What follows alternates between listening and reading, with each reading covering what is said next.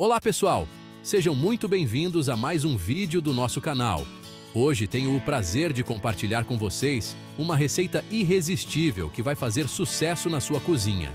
Mas, antes de começarmos, quero pedir que vocês deixem o seu like, se inscrevam no canal e ativem o sininho para não perderem nenhuma das nossas novidades.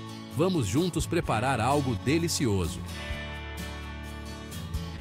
Cappuccino Light Ingredientes: uma lata de leite em pó, 50 gramas de café solúvel, meio pacotinho de cacau em pó, duas colheres de canela em pó, duas colheres de bicarbonato de sódio, açúcar, light ou mascavo à vontade.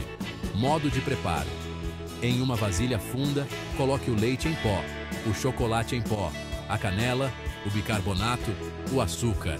E peneire o café solúvel até virar pó desfazendo todas as bolinhas. Misture bem e guarde em um pote fechado para sua conservação. Em uma xícara de chá com água fervente, coloque em média 4 ou 5 colheres de sopa do cappuccino. Mexa bem e está pronto. Então, é isso pessoal. Estamos finalizando mais um vídeo incrível. Espero que tenham gostado da receita e que ela traga sabor e alegria à sua mesa. Desejo a todos um dia ou uma noite maravilhosa. Até o próximo encontro pessoal. Não esqueçam de curtir, comentar e compartilhar com os amigos. Fiquem com Deus e até mais.